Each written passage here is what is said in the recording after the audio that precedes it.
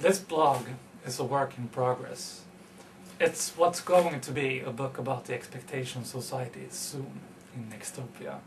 And I really hope you want to join me and hop on board. So please come up with any examples, cases, notions that you have of businesses, relationships, life, and so on regarding Nextopia, the expectation society. Please comment on my ideas, on my drafts, and so on. So we'll make this together. Let's make it fun. So come on board.